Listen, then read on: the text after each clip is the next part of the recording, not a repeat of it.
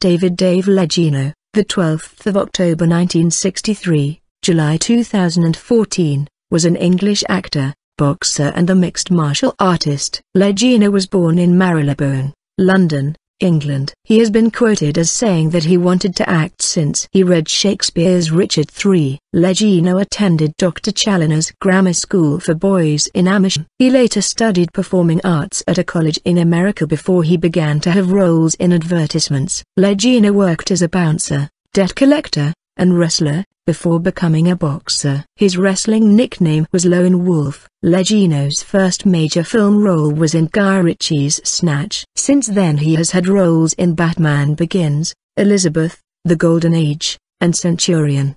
He played werewolf Fenrir Greyback in Harry Potter and the Half-Blood Prince, Harry Potter and the Deathly Hallows, Part 1 and Harry Potter and the Deathly Hallows, Part 2. He also lent his voice to the video game The Getaway, Black Monday. Legeno was versed in many combat styles, including boxing, wrestling, judo, Brazilian jiu-jitsu, and Muay Thai. He began his professional MMA career at the age of 42 at Cage Rage 14. Legeno lived in southern England with his daughter. His interests included poetry, reading, and playing the guitar. He has said that his goal is to strive, to seek, to find and not to yield. Legeno's body was found by a pair of hikers on the 6th of July 2014, in Death Valley, California, United States. The area was so remote a helicopter had to be called in to retrieve him. It appears Legeno died of heat-related issues and may have been dead for three to four days before his body was discovered.